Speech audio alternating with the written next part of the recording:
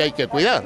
Padre Capitáneo, hoy usted está a unos 35 kilómetros de la capital, aquí en Centenario, pero ha vivido muchos años en la cordillera, sabe lo que es el frío y las condiciones allí. Esto eh, del gas a tal precio y la luz también, ¿no va a expulsar a la gente de esos lugares? Pero seguro que, primero, va a indignar a la gente, la va a hacer sufrir y la va a empezar a pensar cómo irse de esos lugares.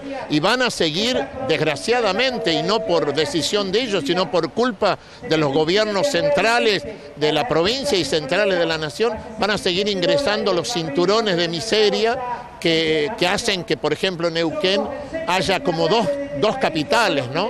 La capital donde viven los pobres y la capital donde viven los acomodados, que es la Avenida Argentina, el Paseo de la Costa y demás.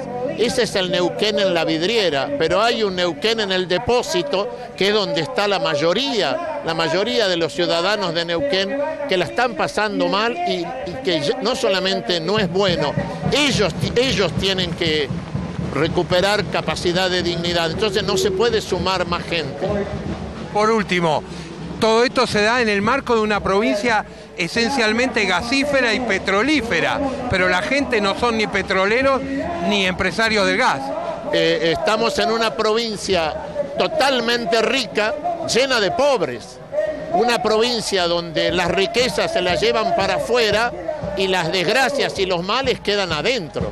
Eh, no es para todos los ciudadanos y eso en ningún, no solamente en lo petrolero, en lo turístico y demás.